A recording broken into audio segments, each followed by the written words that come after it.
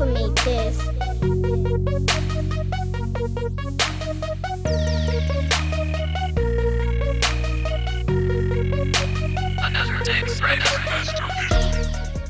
What's up, YouTube? Y'all know who it is. It's your boy, TexazMane. Checking in once again. That music and motivation. Today I got a, a running product that I always use, a running shoe. I'm gonna do a review on that. We got the infamous Nike TR1s. Some people call them the Flywires. This is my second pair of these that I've had over the couple uh, last couple of years. This is a newer version, of course. My wife bought me these for a special occasion. Shout out to Heine.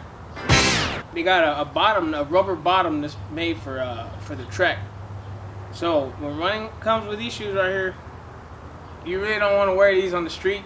I wore them one time in the rain and it was slippery as hell, so I had to kind of like tiptoe run, I guess you would say, like trot. I couldn't really get the full range of motion with these because I was worried about falling.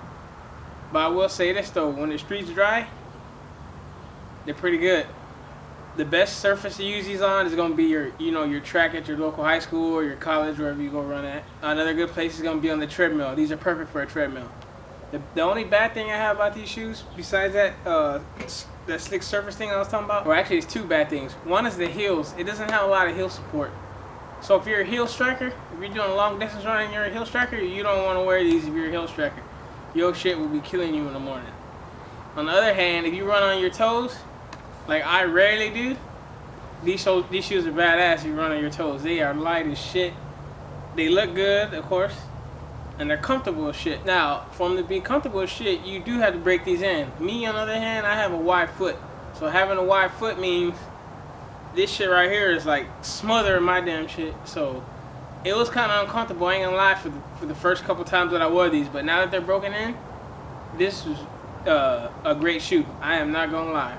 Now on a, on a scale from uh, one to 10, 10 being the best running shoe that I've ever had, I'm gonna go ahead and give these a seven. These are seven on my list. That's far as athletic stuff. Now, if we're talking about looks and everything like that, man, these are up there like in a nine, nine and a half as far as running shoes and the way they look. This is almost a perfect look, looking physical shoe as far as appearance, if we're going by that. Now, uh, flexibility. When you get a running shoe, you always want to go like this. See how, how much the shoe moves, how much play you're going to have in it. If it don't have no play in it, it's not going to really adjust to your foot the way you want it to whenever you're stepping. How, how flexible are your feet? You run flat footed, you got high arches, whatever flexibility is not all that. But like I said, I wouldn't really run like running on the street on this. I wouldn't prefer it. This is a track shoe or a treadmill shoe. But that's all I gotta say about this. Uh, go ahead and if you got these shoes or some shoes like this, leave a comment in the description, man. Tell me what's up, man. Y'all need to quit trolling my shit and, and get down with the crew, man. Uh, comment and subscribe. Holla back.